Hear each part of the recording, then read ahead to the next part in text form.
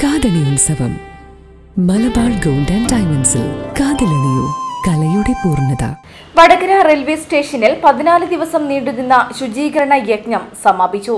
വിവിധ സന്നദ്ധ സംഘടനകൾ കൈകോർത്തതോടെ റെയിൽവേ പരിസരം മാലിന്യ മുക്തമായി കൂട്ടായ്മയിലൂടെ നടത്തിയ ശുചീകരണ പരിപാടി കുറിക്കപ്പെട്ടത് വടകരയുടെ ചരിത്ര താളുകളിലാണ്.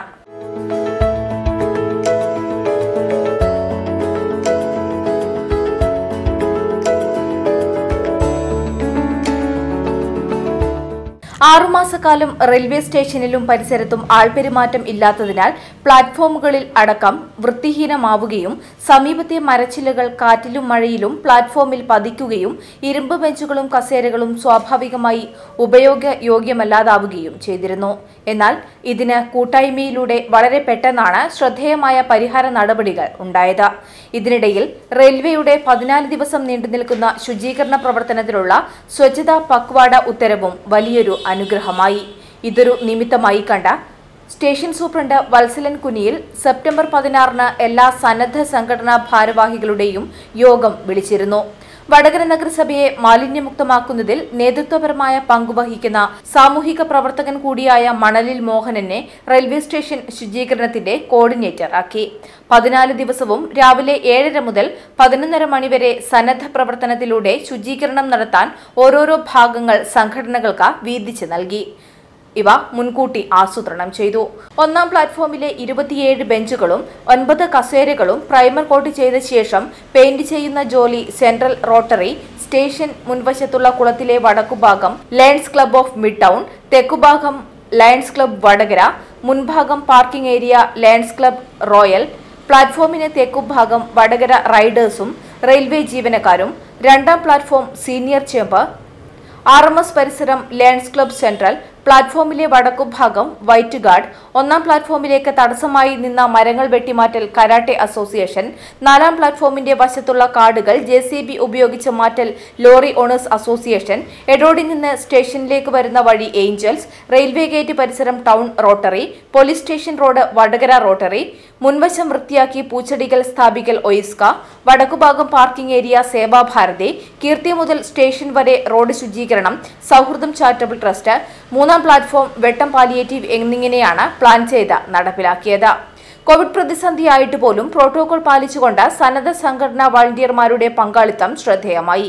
ഇനി മുതൽ സ്റ്റേഷൻ പരിസരം വൃത്തിയായി സൂക്ഷിക്കുന്നതിന് സംഘടനകളുടെ കൂട്ടായ്മ നിലനിർത്തി ഒരു സ്ഥിരം സംവിധാനത്തിൽ ഒരുങ്ങി മറ്റൊരു മാതൃക കാട്ടുകയാണ് വടകര റെയിൽവേ അധികൃതർ.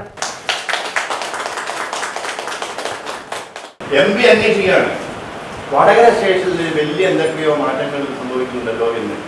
അപ്പൊ അത്രയും മാറ്റങ്ങൾ ഇവിടെ വന്നിരിക്കുന്നു എന്ന് എല്ലാവരും അറിഞ്ഞിരിക്കുകയാണ്. ഒരുപക്ഷെ ഈ ദൗത്യത്തിൽ നിന്ന് നമ്മൾ ഇന്ന് പിൻവാങ്ങുകയാണ് എന്ന് പറയുന്നുണ്ടല്ലോ.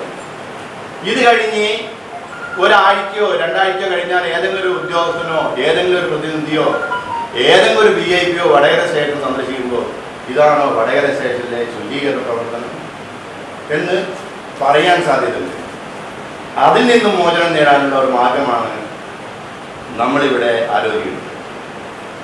ഇത് നമുക്ക് വളരെ സൗഹാർദ്ദപരമായും വളരെ അച്ചടക്കത്തോടു കൂടിയും ഈ പരിപാടികൾ ആസൂത്രണം ചെയ്താൽ ഇത് തീർച്ചയായും എത്ര ആയിരക്കണക്കിന് ജനങ്ങൾ വരുന്ന ഒരു സ്ഥലമാണ്. പ്രത്യേകിച്ചിട്ട് പല രോഗങ്ങളും പല രോഗങ്ങളും മാറി മാറി വരുന്ന ഈ അവസരത്തിൽ ശുചീകരണം എന്നത് വളരെ പ്രധാനപ്പെട്ട ഒരു കാര്യം തന്നെയാണ്. പ്രത്യേകിച്ച് റെയിൽവേ സ്റ്റേഷൻ അപ്പോൾ അതിന് നമ്മൾ തീർച്ചയായിട്ടും നിങ്ങളുടെ സഹായം വേണമെന്നാണ് ഈ അവസരത്തിൽ എനിക്ക് അഭ്യർത്ഥിക്കുന്നത് വടകര റോട്ടറിയുടെ പ്രസിഡന്റ് പ്രമോദാണ്. ഞങ്ങളെ സംബന്ധിച്ചിടത്തോളം വടകര റെയിൽവേ സ്റ്റേഷൻ എന്ന് പറയുന്നത് വളരെ കാലങ്ങളായി വളരെ നല്ല രീതിയിൽ പ്രവർത്തനം നടത്തുന്ന ഒരു ഏരിയ അത് നമ്മൾ കയറി വരുന്ന ഏരിയയിലുള്ള വൃക്ഷം മുതൽ ഇന്ന് വത്സരം സൂചിപ്പിച്ച ഈ ബസ് ഫീഡിംഗ് സ്റ്റേഷനായാലും സൗന്ദര്യവൽക്കരണമായാലും മറ്റെല്ലാ കാര്യങ്ങളിലും വടകര റെയിൽവേ സ്റ്റേഷൻ വളരെ നല്ല രീതിയിൽ വടകര റെയിൽവേ സ്റ്റേഷനിൽ വടകര പ്രവർത്തി നല്ല രീതിയിൽ സംഭാവന നൽകിയിട്ടുണ്ട്. കൂട്ടായ്മ ഉണ്ടായിക്കഴിഞ്ഞാൽ നമുക്കതൊരു വലിയ ഒരു ഗുണം ചെയ്യും എന്ന കാര്യത്തിൽ യാതൊരു സംശയമില്ല മൂപ്പർ മുന്നോട്ട് വെച്ചിട്ടുള്ളത് ഒരു നല്ല ഒരു ഒരു നിർദ്ദേശമാണെന്ന് എനിക്ക് തോന്നുന്നു. കാരണം ഇവിടെ ആറ് മാസത്തേക്ക് ഒരു സന്നദ്ധ സംഘടന രണ്ടായിരത്തി അഞ്ഞൂറ് രൂപയാണ് നമ്മൾ ഇതിനു വേണ്ടിയിട്ട് ചെലവഴിക്കേണ്ടത്. എല്ലാ ആഴ്ചയിലും ഒരു ദിവസം വെച്ച് നമ്മൾ ക്ലീനിങ് നടത്തുകയാണെങ്കിൽ ഒരു കുറച്ച് കാലമാകുമ്പോൾ നമുക്ക് പല രീതിയിലും പല പ്രവർത്തനങ്ങളിൽ നിന്നും നമുക്ക് പിന്നോട്ട് പോകേണ്ടതായിട്ട് വരും. അതങ്ങനെ വരുന്നതല്ല അതങ്ങനെ സംഭവിക്കും. നമ്മളിപ്പോൾ ഏറ്റെടുത്താൽ. എന്നാൽ അങ്ങനെ നടത്താൻ കഴിയുന്ന രണ്ട് മൂന്ന് സംഘടനകൾ നേരത്തെ ഇവിടെ നമ്മുടെ പ്രവർത്തനങ്ങൾ നടത്തിയിട്ടുള്ള ഒരുപാട് രണ്ട് മൂന്നാൽ സംഘടനകൾ അവർക്കത് കഴിയും.